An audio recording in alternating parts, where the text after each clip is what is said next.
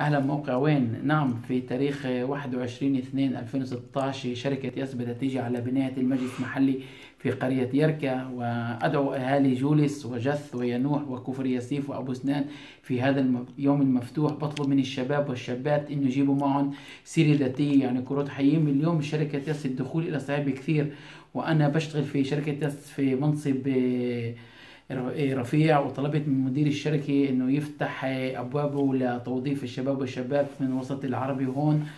والحمد لله قدرنا على هذا المجهود. وأنا بستعمل المنصب اللي أنا فيه بستعمله للخير لأنه اليوم أنا إذا قديش بقدر أساعد الناس راح أساعد لأنه اليوم فتحان لي بيوت وشيء جميل جدا.